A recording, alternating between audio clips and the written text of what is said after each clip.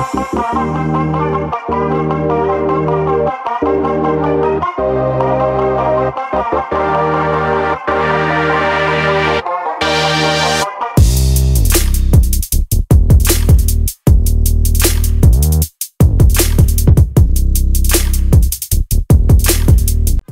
Chào mừng tất cả các bạn trở lại với Yamaha Phúc 1 Và hôm nay là mùng 4 Tết Quý Mão. Yamaha Phúc 1 xin gửi đến tất cả quý khách hàng cũng như các bạn xem kênh. Lời chúc một năm mới thật nhiều sức khỏe, bình an, may mắn và vạn sự như ý các bạn nhé. Và những dịp năm mới thì mình sẽ giới thiệu này một trong những mẫu xe mới nhất của nhà Yamaha đó là R15 V4 bản cao cấp hay còn gọi là R15M và phiên bản mình sẽ giới thiệu anh em đó là phiên bản màu bạc đen như anh em đã biết thì đây là dòng xe nhập khẩu và phân phối chính hãng bởi Yamaha Motor Việt Nam. Vì vậy, vừa mới ra mắt thì chúng ta sẽ không có nhiều xe anh em. Không có quá nhiều xe để mình có thể quay video cho anh em xem. Vì xe vừa về thì mấy anh em đặt cọc đã ngồi sẵn ở cửa hàng đợi để nhận xe, nên là cũng rất là khó để có một video cho anh em xem. Và hôm nay thì do con này nó về quá cận tết, nên có cơ hội nó lưu lại cửa hàng mình quay ờ, chi tiết chút xíu cho anh em xem nha về phần ngoại hình thì R15V4 lần này là một sự lột xác hoàn hảo. Phần cụm đầu đèn được đổi mới hoàn toàn với đèn pha cốt được sử dụng là đèn projector LED giống với đèn pha cốt của MT15, MT03. Nhìn thoáng qua thì mình thấy nó hơi nhỏ nhưng mà độ chiếu sáng thì cực kỳ tối ưu ha anh em. Phần đèn định vị được thiết kế sắc nét hơn bởi hai dãy đèn led nhỏ ở hai bên, tạo nên một cái điểm nhận diện đặc biệt cho R15V4. Thêm một điểm nổi bật không kém ở phần đầu xe đó là cặp cuộc Upside Down màu vàng đồng. Một trong những trang bị không thể thiếu trên dòng R Series của Yamaha. Về động cơ, R15 sở hữu động cơ 155 phân khối SOHC tích hợp van biến thiên VVA. Anh em nào đam mê tốc độ, thích sự nhanh nhẹn linh hoạt sẽ rất thích cách hoạt động của động cơ R15 V4. Nó sẽ giúp cho anh em cảm nhận được sự mạnh mẽ ở bước khởi động, đồng thời sẽ tăng sự phấn khích ở những dãy tốc độ cao. Về màn hình thì R15 V4M được trang bị màn hình Full LCD với hai chế độ là Track Mode và Cheat Mode. Đối với chế độ hiển thị này sẽ giúp cho anh em chúng ta trải nghiệm một cái cảm giác giống như đang trên đường đua thực sự khi ngồi lên R15 V4.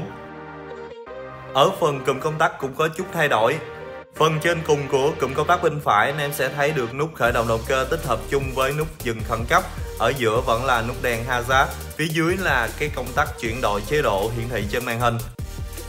R15V4 bản M thì được trang bị ABS ở cả hai kênh, bánh trước và bánh sau luôn anh em.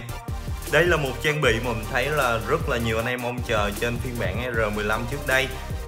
Và hiện tại R15V4 bản M thì đã có cái trang bị này.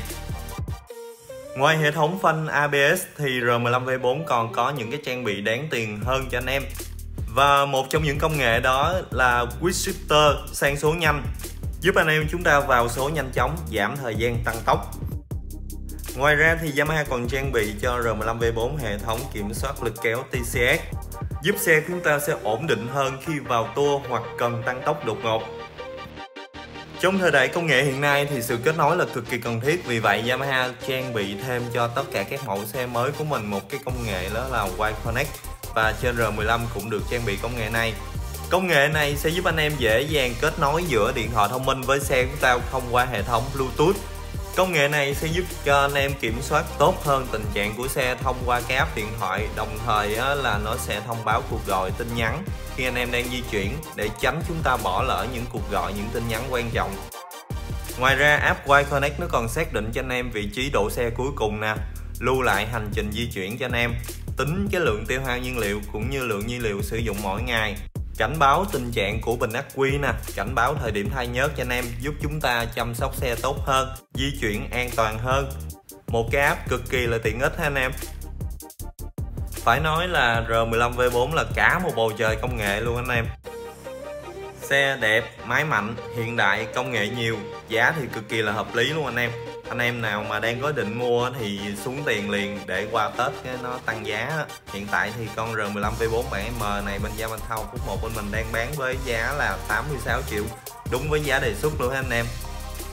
Hỗ trợ trả góp đầy đủ, thủ tục thì cực kỳ đơn giản. Anh em chỉ cần có căn cước công dân mang lại là mình có thể lên hồ sơ trả góp R15 V4 anh em có thể trả trước từ 20% giá trị xe, nhưng mà mình không khuyến khích ở mức trả trước này nha. Anh em có điều kiện thì nên trả trước nhiều hơn. Khoản vay chúng ta ít lại thì phần lãi suất trên lệch nó cũng ít theo luôn anh em.